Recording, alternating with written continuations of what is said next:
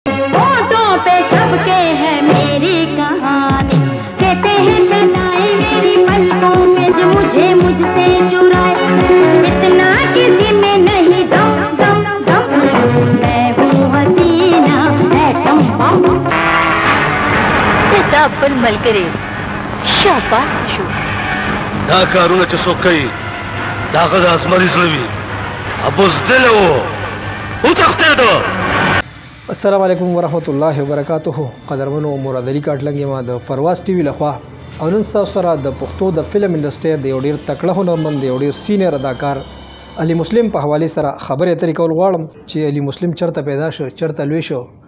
څومره تعلیم وکړو فلم انډستری ته څنګه راغی او نن سبا په کوم حالاتو کې جون تیروي قدرمنو علي مسلم په سن 1954 کې په 400 اوتمانزو کې پیدا شو د دوی خپل نوم ظاهر شاو او علي مسلم فلمي نومو ابتدایي تعلیم هم په 400 کې حاصل کو او د بی نه بعد د شوبیس سرګرمۍ شروع کړې او د هغه وخت یو پروډوسر جانزیب سهیل په یو فلم کې به تور هیرو کاست کړو چونکه د علي مسلم شکل صورت هیرو سره نه سوټ کېده د دغه وجنه عوام په بتور هیرو قبول نکړې شو او بیا د چا یار دوست په مشورې سره بتور ویلن کار شروع کو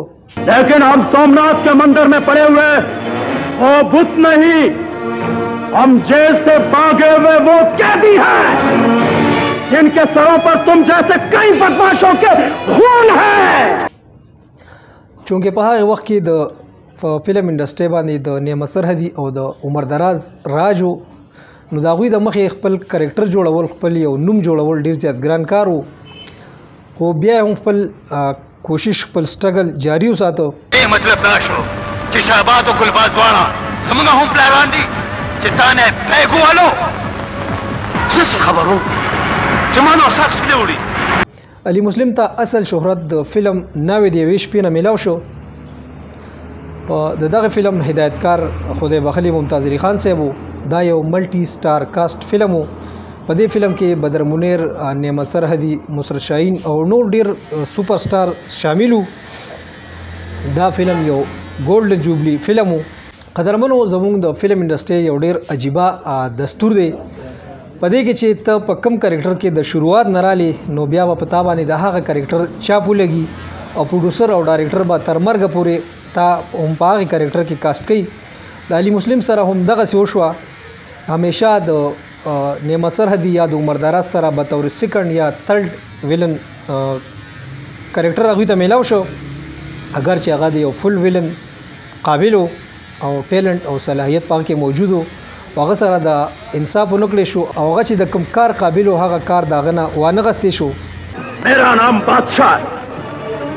اور بادشاہ نے آج تک کبھی باسی چیز نہیں کھائی کیونکہ میری یہ عادت سنگاپور سے لے کر ہانگ کانگ تک ہے علي مسلم به تور پروډوسر هم ډیر فلمونه جوړ کړو ناغوی په مشهورو فلمونو کې بلا جلات خان ناوې د یوې شپې حسینه ایټم بم اصل کم اصل عیاش عیش عشرت بدمعاشي نه منم د دولت لیونی درې چکې د وینو سیلاب د وخت فرعون ډمتوب نه منم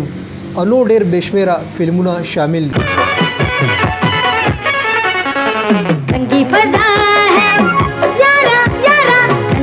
قدرمنو علي مسلم په خپل خاندان کې واده کړی و، د هغه یو زوی هم و،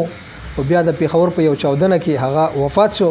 د زوی د مرګ نه پس علي مسلم د شوبز، سرګرمۍ مکمل ختمې کړې او د فلم انډسټرۍ نه کناره کشي اختیار کړه او د الله په لاره کې او تبلیغ ته خپل ژوند وسپاره او تر اوسه پورې هم دغسې د الله په لاره کې ژوند تېروي.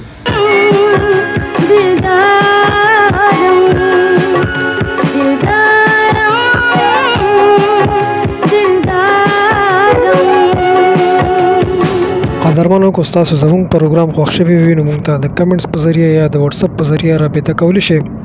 او که په دې کې زموږ نه څه غلطي شوي څه کوتاهي شوي نو بیا هم موږ ته د کمنټس په ذریعه یا د وټساپ په ذریعه زموږ اصلاح کولی شئ اوس په درنه زه اجازت غواړم هر چا ته چې خوشحاله اوسئ باد اوسئ د الله په امان